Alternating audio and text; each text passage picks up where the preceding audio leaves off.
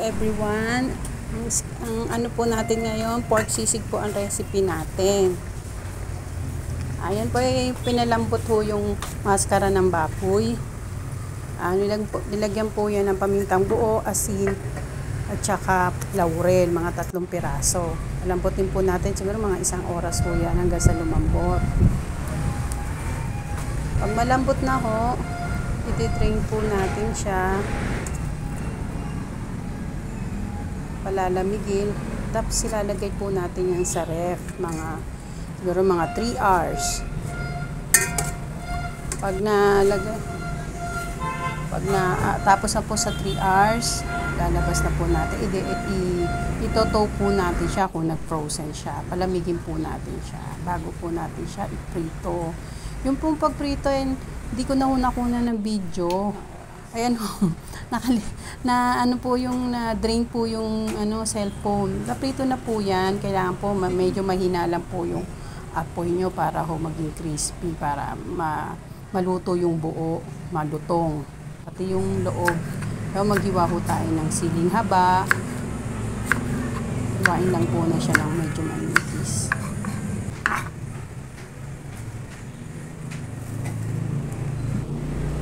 Sunod po natin yung sibuyas. Ah, sibuyas, so hiwain po natin. Siguro ginamit ko dyan mga tatlo. Malo na sibuyas, no? New Year ko yan ni, ah, niluto. Kaya ho, kung may maririnig ko kayo na torotot, eh, New Year ho yan.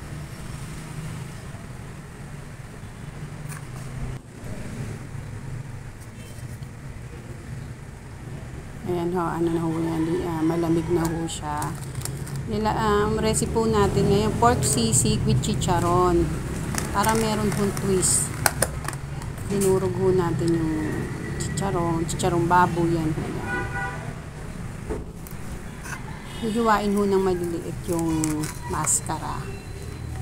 Maskarang baboy. Masarap po siya. Malambot. Tsaka yan ho yung ginagamit sa ano, ah, tokwat baboy sa mga lugawan. Hiwain ho ng maliliit. Ah, ginamit ko ho, ano, gumamit din ho ako ng gunting. Kasi medyo mapurol ho yung kutsilyo namin. Basta maliliit lang po yung ano, yung putol, yung hiwa.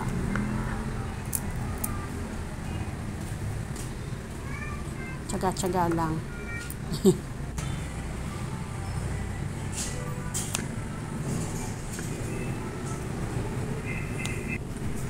Yan ho, lahat na ho, yan, yan na ho lahat yung niluto natin kanina. Marami-rami rin ho yan. Mga isang kilo na ho mahigit ho yun. Painit na ho tayo ng kawali tsaka mantika. Magigisa ho tayo.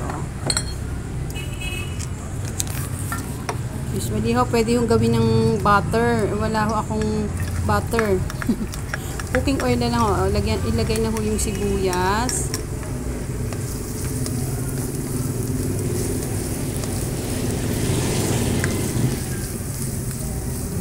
Lutuin mo mabuti yung sibuyas. Minsan mo kasi matigas. Lagay na ho yung ah, ating pork sisig.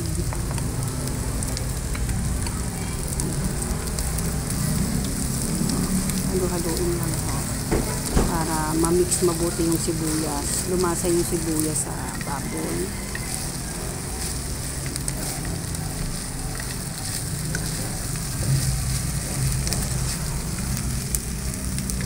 Siguro yung siling haba. Siguro mga ano lalagay ko dyan. Mga tatlo ho muna yan. Kayo, nasa sa inyo ho yung kung gusto nyo hong kung gusto nyo hong lagyan ng medyo maanghang. Yung ilalagay ko hong toyo, may timpla, ho, may timpla na ho yun. Yan yung nilagay ko may toyo.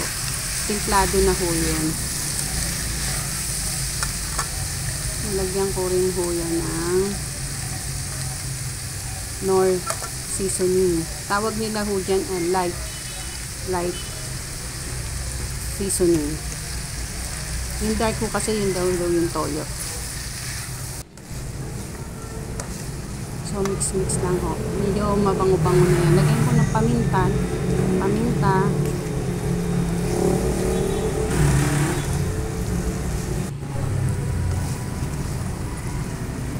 Yung toyo ho ng ano yung sinasabi ko na timplado, nasa description box po yung kung ano ho yung laman nun. Lagyan niya ho yung mga dinurog na chicharong baboy.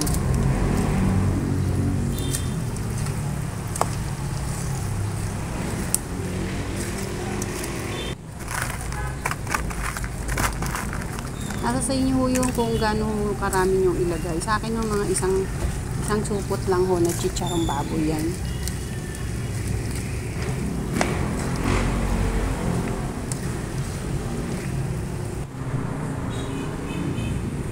Yan, ho.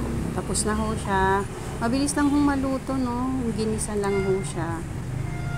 Magpe-plating na ho.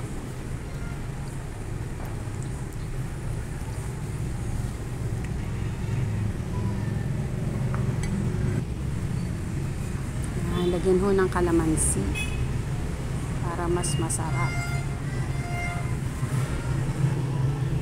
Kung gusto nyo, pwede nyo rin ho yan lalagyan ng mayonnaise. Ito hong ano recipe nito walang mayonnaise. Ayan na ho.